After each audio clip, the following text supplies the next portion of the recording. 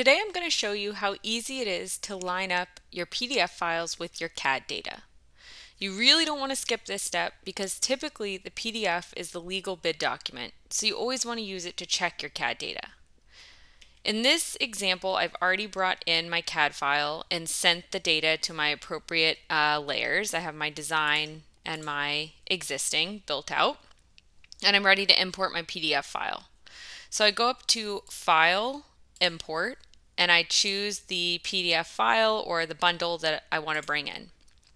Click Import and it will load up.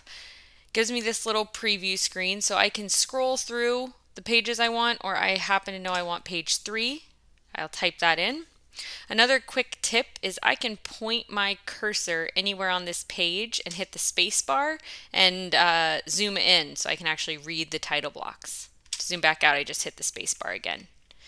So I'm going to bring in page three, hit OK, and it's going to open up in the AGTEK import mode. The first thing I'm always going to do is hit my G key to open up that guide, click on scale drawing, and make sure that this scale is appropriate. 30 is right, hit OK. And now I don't need to vectorize the image or transfer data since I already have my CAD file, so I'm just going to hop into edit mode and line that PDF up. So to align the image, we just need to find a feature that we can see on both the PDF and on the CAD data. So I like to use, you know, corners or distinctive contours, something like this that's going to be easy to spot on both the data set and the PDF. So once I find what I'm going to use, I right click my mouse and I choose Align Image.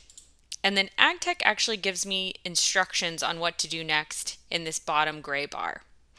So I'm always going to pick the first point on my PDF file. So let's zoom in and I'm just going to left click my mouse on this corner right here. Try to get right in the middle. Then I'm going to zoom back out and click on the exact same point here on my CAD data. Now AGTEK just jumps that PDF over for me and I just want to scroll around to make sure that I got it lined up correctly. Looks like I did. So this was the clearing and demo plan. I'm also going to want the grading plan. So let's do the same process with a second PDF. Go up to File, Import, choose that same bundle, click Import. I'm just going to hit the Next button because I know the grading plan is next. Hit OK to bring it in.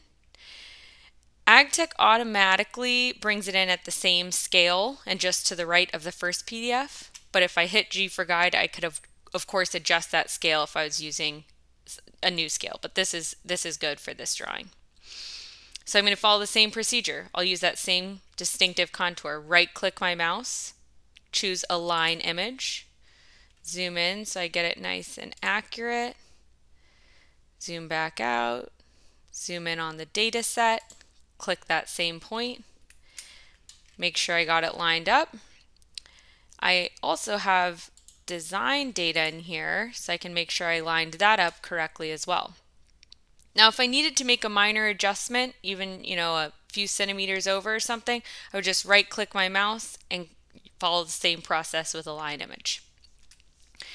Now to toggle back and forth between the two PDFs, I just hit the insert key on my keyboard with my cursor inside the boundary of the PDF. And I can switch between the clearing and demo plan and the grading plan. I can also click on the border of any PDF I have, right click and hit import image file and it will switch that way as well. So I hope this helps and please let me know if you have any questions.